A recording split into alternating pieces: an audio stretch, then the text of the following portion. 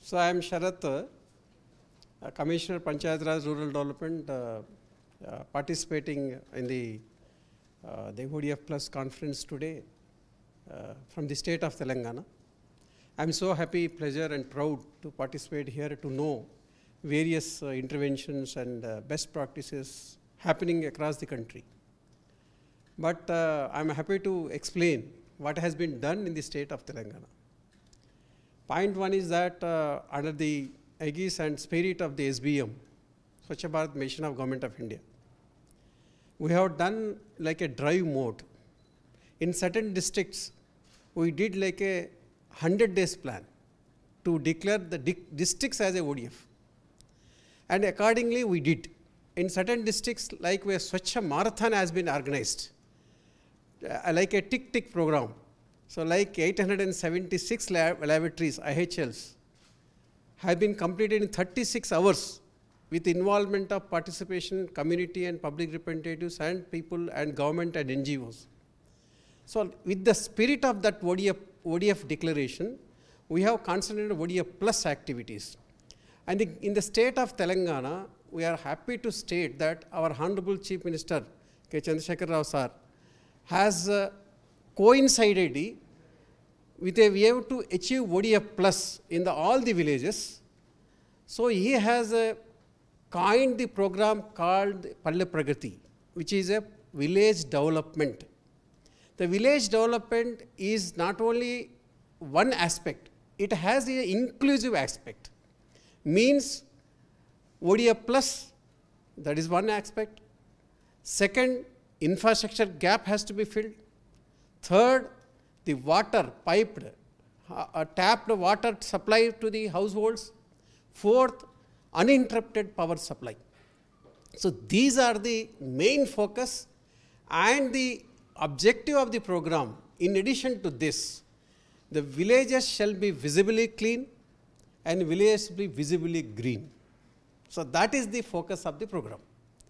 With that, this ODF Plus initiative of the Government of India and the Palle Pragati Convergence, the program which is the flagship program of the Government of Telangana under the leadership of uh, CM sir, then we have focused.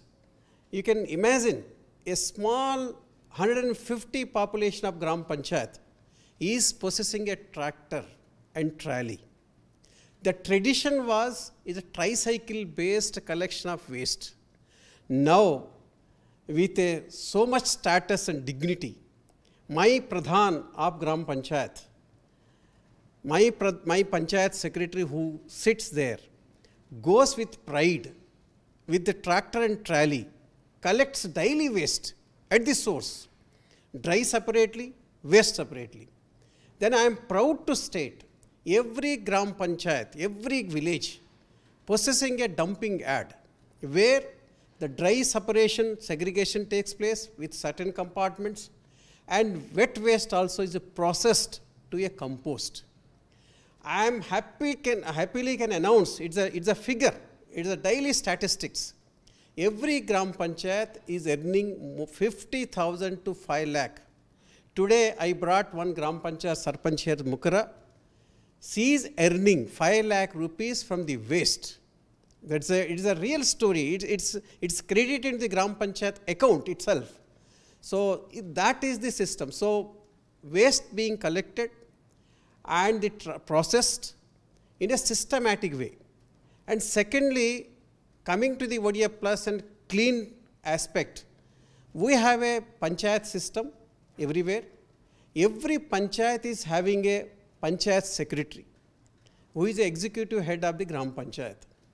So his main job as a part of the act, we made in the act, the CM sir has, uh, Honorable CM has made into the act, incorporated the act. His job is to go to the village and collect the waste and make sanitation. Sanitation is the prime activity. And he sits and we monitor as a head of the state that app based app, mobile app based, he has to go by 6 a.m. or before 7 a.m. and collect the waste, takes the waste to the dumping at process, and he uploads the photo. That's the crux. We monitor that 95% of the people, we get the photo of the processed waste of the Gram Panchayat, the waste collection and processing of waste. So, because of that, the visible cleanliness is now seen in every Gram Panchayat, every village of the state of Telangana. In addition to that, the community sanitary complexes also with the SBM, Swachh Bharat Mission convergence has also taken place. That also has been community sanitary complexes being maintained by Gram Panchayats. So that is one hand.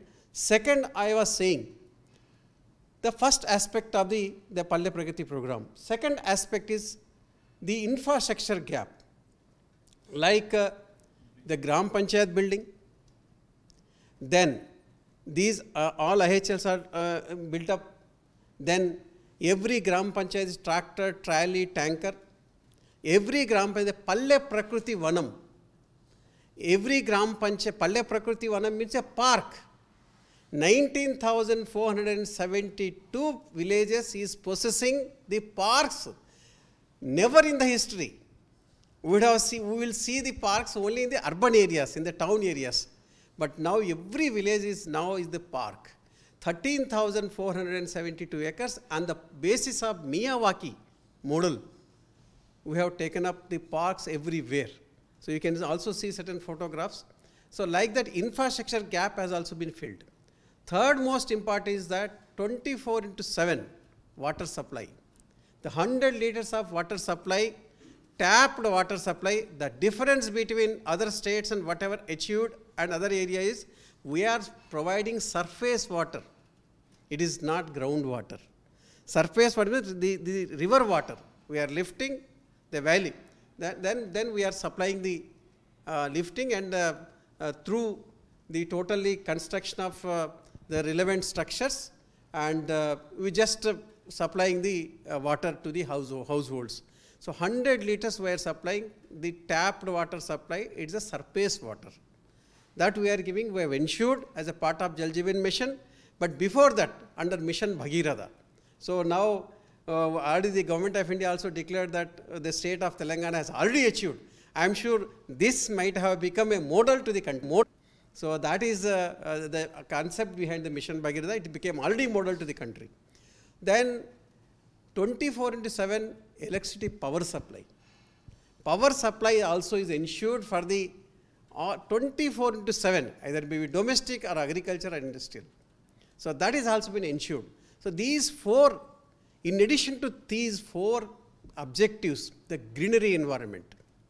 I am proud to stay, I being a uh, officer from there, state of Telangana, if you go from some state to another state, that if you enter the state of Telangana, somebody go from Maharashtra, some, some uh, vehicle, trucks or something, they will clearly say, our state of Telangana has come because greenery has come. So greenery which itself invites them. Yes. So one is uh, greenery for every gram, every nursery, every gram, gram panchayat has a nursery. Every road has a both sides of avenue plantation.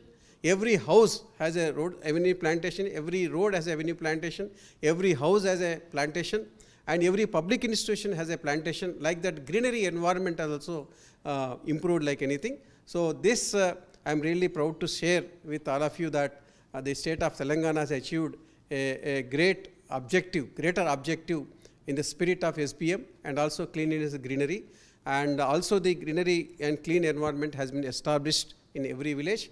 And now the healthy village has been developed, productive and healthy environment is there, healthy people is there, productive environment is there, and seasonal disease has come down drastically. So with this, thank